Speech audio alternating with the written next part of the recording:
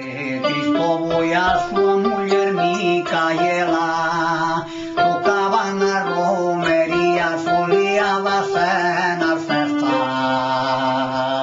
Micaela está contenta por casar cun gaiteiro, pero un día ao vir da feira armoulle un lío do dedo, porque Cristóbal na feira bebe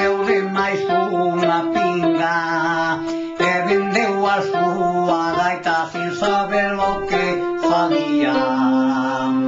Yo voy a llegar a casa burra, borracho como un feliz.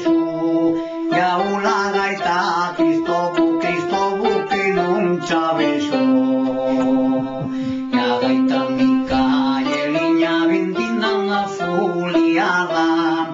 che Se estaba acaba, niña de bella, ya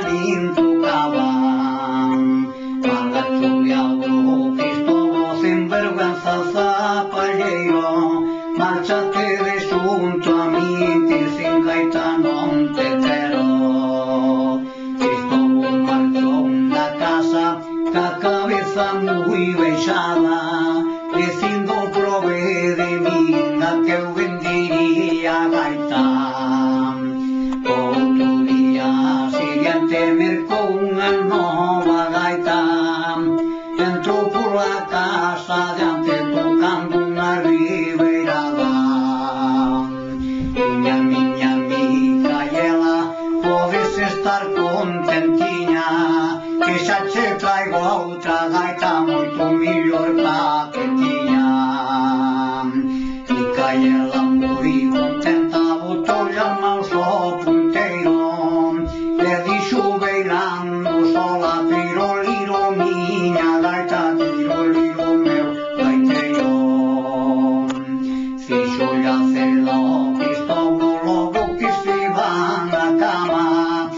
ಶೋಭಾಂತಿಗೆ ಪೆಟ್ಟನಾವ